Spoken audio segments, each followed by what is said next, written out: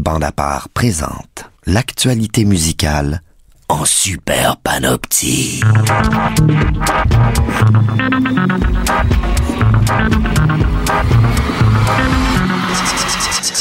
Révolte et salutations aussi en passant. Merci de nous accepter cordialement dans votre tête. C'est l'actualité musicale de la semaine, vue par bande à part et mise en image par l'indomptable Bijema. Je m'appelle François Lemay et cette semaine, nous recevons Guillaume Beauregard des Vulgaires Machins, des nouveautés musicales En veux-tu, en v'là? Et nous allons au Pérou avec Monkey.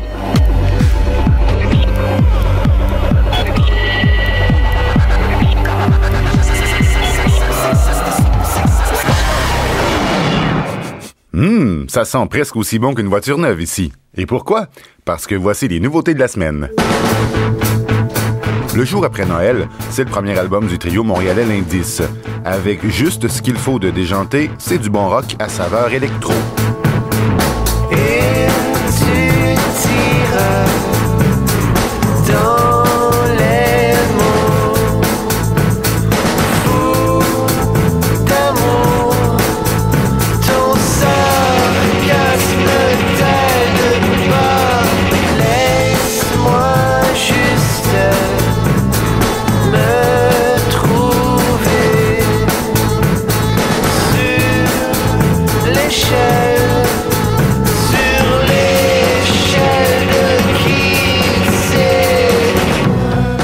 Situé pas très loin des univers musicaux de Jérôme Minière et de Navet Confi, ce dernier d'ailleurs collaborant au disque. Inédit Volume 1, c'est le nouveau projet musical du duo hip-hop Drummondvillois Désuète plein gré. Du rap fusion bien cultivé, musicalement parlant du moins.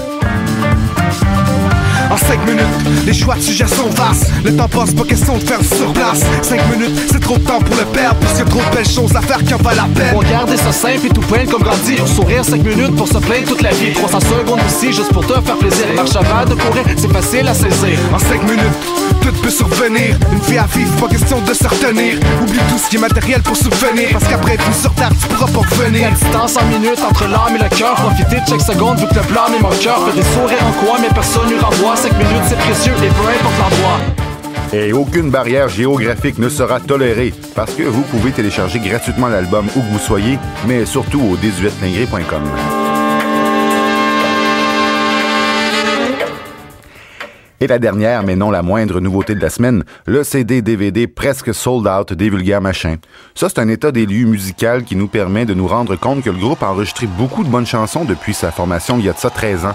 Et on en discute dans quelques instants, justement avec Guillaume Beauregard, le guitariste et chanteur de la formation. Fais de la peau pour travailler plus, faire plus d'argent.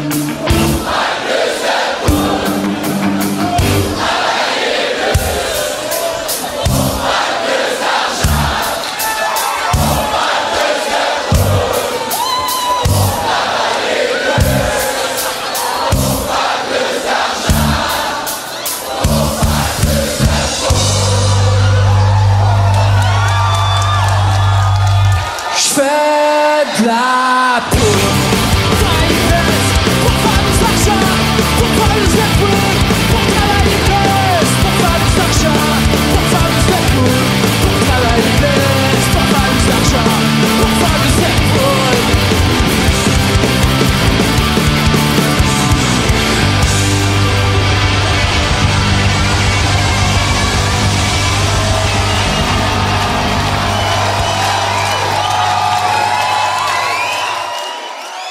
Avec Marie-Ève Roy, elle est un des deux membres fondateurs du groupe Les Vulgaires Machins, qui a poussé ses premières chansons en 1995 à Granby. 13 ans plus tard, ils en sont encore. La preuve en est cet excellent CD-DVD enregistré en spectacle il y a de ça à peu près un an à Montréal, qui paraît ces jours-ci. Salut Guillaume Beauregard. Salut. Pourquoi maintenant? Est-ce que c'était une façon de vérifier où en était rendu le groupe musicalement parlant, un état des lieux? C'était pas pour vérifier, là, on savait qu'on était rendu bon. Ça nous a juste semblé naturel à ce stade-ci de le faire. On venait de passer à travers un deux ans intense de show. On en a fait euh, quasiment 200. Trois fois, on est allé en France. Puis à quelque part, euh, c'était le bon moment. On arrête les shows pour une période euh, indéterminée. Fait qu'on trouvait ça le fun de sortir ça entre-temps. Un phénomène avec les albums euh, enregistrés en concert, c'est le fait de faire de la retouche. Parce qu'on n'a pas le choix, des fois, on rate des chansons, on veut pas laisser ça comme empreinte. Vous, qu'est-ce que vous avez retouché pour cet album-là? Je suis content que tu soulèves ça parce que c'est ça la plus grande fierté qu'on a avec ce DVD-là, c'est d'avoir rien retouché pratiquement. L'énergie du show est restée intacte. On est humain, les erreurs font partie de l'expérience, puis ultimement, ce qui est le fun d'un live, c'est l'énergie qu'il y a entre le band puis le public, puis on n'a pas à avoir honte de pas être parfait, tu sais, on cherche pas à être parfait non plus. là. Et le titre de l'album, presque sold out, c'est extrêmement ironique, surtout pour un groupe punk qui l'avait choisi comme une espèce de petit clin d'œil envers les purs et durs. Les dernières années, on s'est fait critiquer, on continue de se faire critiquer pour euh, des choix qu'on fait, pour euh, profiter des médias de masse, pour euh, des vidéoclips. Euh, Il y a mille raisons pour trouver un band sold out. Nous autres, on assume qui on est puis comment on fait les choses. Mais il y a aussi une réalité qui est à Montréal, quand tu fais un show, il y a un déploiement qui est pas le même qu'ailleurs en région. Puis c'est vrai que des fois, tu vas débarquer loin dans un petit bar, puis ça va être sold out, mais il rentre euh, 72 personnes dans la salle. La vérité, c'est que c'est facile pour personne. Et quand je regardais le DVD, euh, Guillaume, il y a quelque chose qui me revenait constamment en tête. C'est une espèce de dichotomie. Le fait que tu as des propos et des chansons extrêmement politiques, et de l'autre côté, tu as une foule qui est là pour sauter sur place. Toi, comment tu te sens par rapport à ça? Est-ce que tu te sens coincé des fois? si on avait voulu porter un message à des gens qui sont assis, qui nous écoutent, puis qui posent des questions, on n'aurait pas un groupe. Il y a deux expériences, je trouve, à travers la musique. Moi, c'est comme ça que je le vis en tant que mélomane, c'est que il y a tout un monde en tête assis dans ton salon avec des écouteurs à ses oreilles, puis aller vivre une expérience dans un show devant un band live. On n'a pas à juger comment les gens réagissent à ce qu'on fait, on a juste à l'apprécier dans le fond. Après ça, on peut juste espérer que le message passe, puis que ça puisse faire réfléchir du monde, que ça puisse aller plus loin que juste le fun qu'on a à faire un show. Tu es aussi comédien, tu as joué dans deux films, un court-métrage que j'ai vu qui se passe à Lévis, où tu joues un soldat de l'armée qui est un peu euh, persécuté. Il y a un autre film qui va paraître euh, en janvier, entre autres Alexandris, qui s'appelle Demain, qui a été réalisé par Maxime Giroux, qui réalise vos vidéoclips. Qu'est-ce qui t'intéresse là-dedans, dans le jeu euh, cinématographique? Quand j'ai accepté, je me suis pas vraiment posé la question, pour être franc. J'ai senti qu'il y avait là une opportunité peut-être unique de relever un challenge qui était complètement différent de la musique parce que j'ai aucun background là-dedans. Puis ça s'est avéré que ça a été euh, une des plus belles expériences que j'ai faites dans ma vie, tu sais. Il y a des nouvelles chansons qui s'en viennent. Le groupe n'arrête pas, visiblement, euh, Guillaume. Moi, j'ai l'impression que ce CD-DVD-là, c'est comme une parenthèse qui se ferme sur une époque du groupe. Il y a comme une fin de cycle. Est-ce que vous le sentez, vous aussi? J'aime penser que on est assez éclaté dans nos affaires pour réussir à continuer à surprendre du monde. Mais euh, je te dirais que en ce moment, euh, on est déchiré dans le bon sens du terme, entre plein d'avenues, puis c'est le temps euh, qui va nous dire euh, où est-ce que ça va s'en aller, tout ça.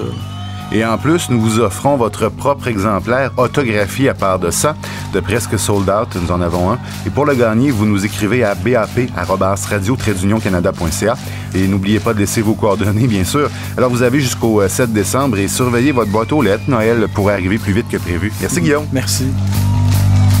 seul, je peux mourir de honte En petite sur le seuil Compter les corps qui tombent Je veux pas rester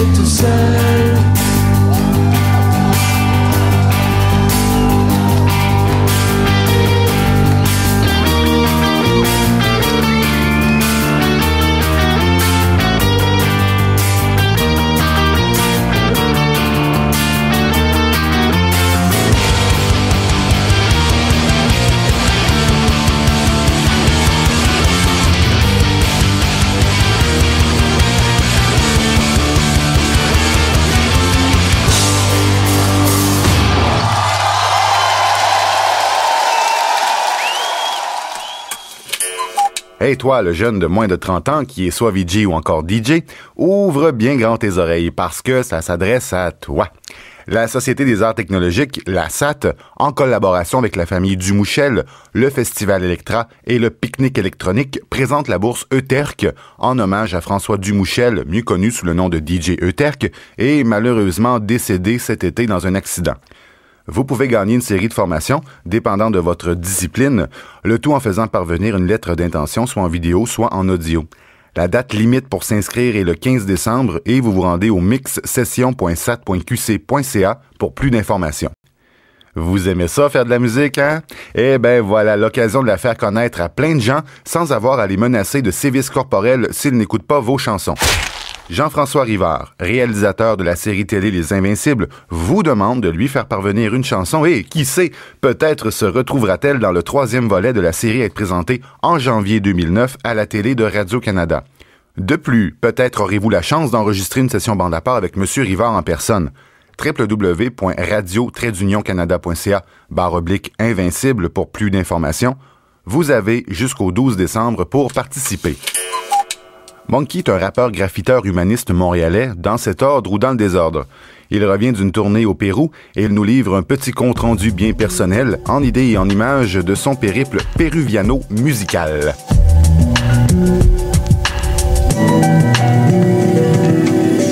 Shalom alaikum, mon nom c'est Monk E. Je suis dans le mouvement hip-hop depuis 11 ans maintenant. Je reviens tout juste du Pérou. Je pense que la plus belle manière de, de comprendre les gens et les artistes de là-bas, ben, c'est de créer avec eux. Donc, euh, je suis allé faire des chansons avec des groupes de là-bas, je suis allé faire des concerts. J'ai rencontré différents musiciens, hip-hop, reggae surtout. On a fait un album euh, complet, on a fait euh, 11 chansons avec différents artistes là-bas. On avait un studio pour deux semaines, puis chaque jour, euh, différents membres allaient au studio. J'aime le processus vraiment de capter l'énergie directe du, en studio, voir qui est là, qu'est-ce que les gens rajoutent comme instrumentation, c'est quoi le sujet, c'est quoi la vibe, tout ça. Donc moi, j'aime beaucoup ça, puiser dans cette spontanéité-là de création. Là.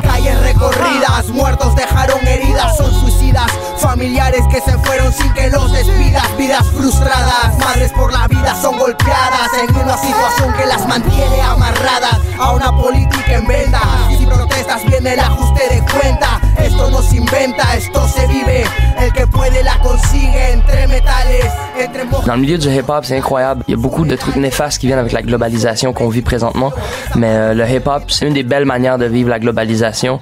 C'est un langage, c'est un vocabulaire, un style vestimentaire. C'est un code quand tu es initié au langage, au mouvement, euh, à la culture, tout ça. Tu te fais accepter rapidement dans les différents cercles. En même temps, oui, il y a un truc euh, très euh, borné ou très prétentieux du rap ici. On a du bon équipement pour faire notre musique, on a accès à plein de ressources. Donc, il y a un truc un peu euh, watt et confortable parfois dans notre musique comparativement à ces musiques-là qui sont souvent beaucoup plus euh, révolutionnaires dans la démarche artistique. Mais même là-bas, il y a des gens qui sont dans le rêve américain à fond. Là.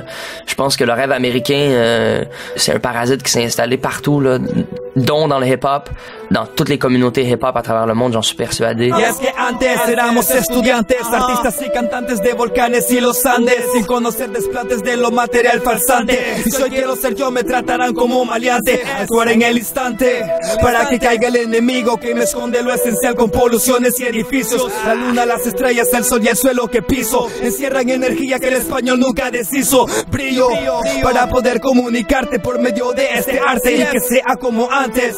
El hip hop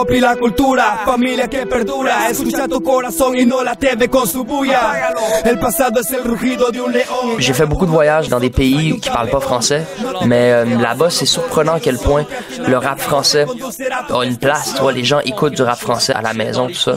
Vu qu'ils comprennent ni le français ni l'anglais, pour eux, euh, Kerry James de France euh, peut être aussi big que Busta Rhymes aux États-Unis.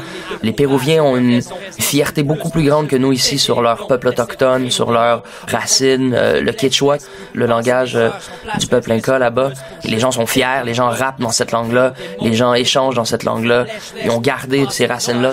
Je pense que c'est plus à ce niveau-là que j'ai appris beaucoup, tu vois, au niveau de retourner fouiller encore plus loin, puis d'embrasser les cultures à travers lesquelles mon ADN a traversé tout ça. C'est de prendre tout ça, toutes ces connaissances-là, toutes ces sensations-là, les impliquer, de les faire baigner dans ta musique, là, que ta musique serve de tisane un peu à, tous ces, vibes-là. là. Je suis décidé à changer les choses. Arrêtons de nous lancer des roses, l'aube d'une nouvelle ère pour mes frères et sœurs. Arrêtons de faire l'erreur de diviser. Je veux initier l'être à renaître sans limiter, avec dignité, vivifier sa divinité, Divi- divinité, divi- divinité.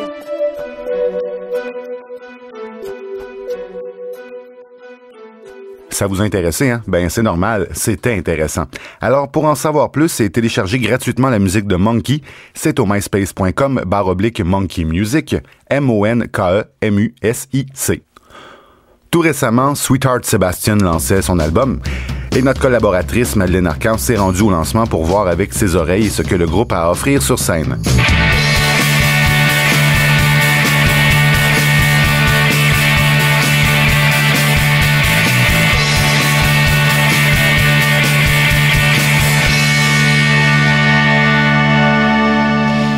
Formation basée à Oma. Hochelaga Maisonneuve pour les initiés à Montréal. Sweetheart Sébastien fait dans le rock garage simple et mélodique. On se retrouve un peu entre la musique rock des années 50, le new wave punk français et le garage, mais c'est dilué, hein, c'est gentil, disons. Sweetheart Sébastien, c'est donc le pseudonyme du chanteur qui a également été aperçu avec les Vautours et avec Kid Sentiment. Sur scène, il est assez sûr de lui, assez convaincant, mais reste qu'il n'a pas l'étoffe d'une rockstar. Les pièces, elles, sont de qualité assez inégale. Certaines d'entre elles sont carrément des hits, des bombes. D'autres m'apparaissaient mille fois entendues. Tu sais, quand tu dis, est-ce qu'elle a déjà joué cette chanson-là? J'exagère, mais à peine.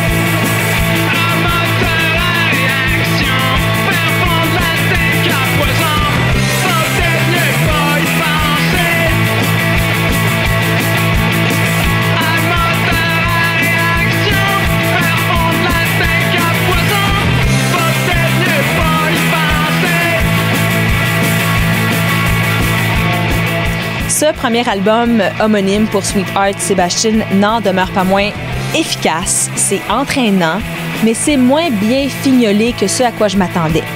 Il est disponible en ligne. La formation vous offre également la pièce Réaction tout à fait gratuitement.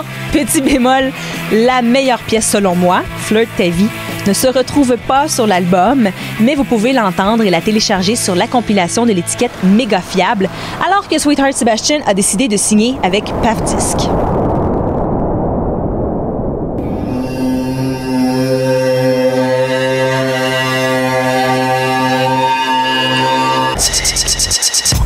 Dispersez-vous, s'il vous plaît, dispersez-vous, il n'y a plus rien à entendre. C'est fini pour aujourd'hui, mais on reviendra et nous essaierons de faire encore mieux la prochaine fois avec Kid Kuna en entrevue et nous ferons un petit tour au Guess Who Festival à Utrecht, aux Pays-Bas, un festival où brillent plusieurs artistes canadiens. Je m'appelle François Lemay. Bye!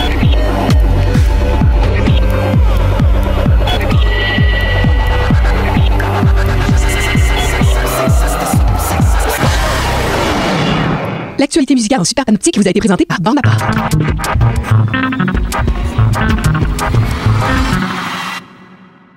Salut, ici François Lemay. Vous avez bien joint la boîte vocale de Bande à part en super panoptique. On n'est plus là. Parlez-nous. Salut François, c'est Milly Croche.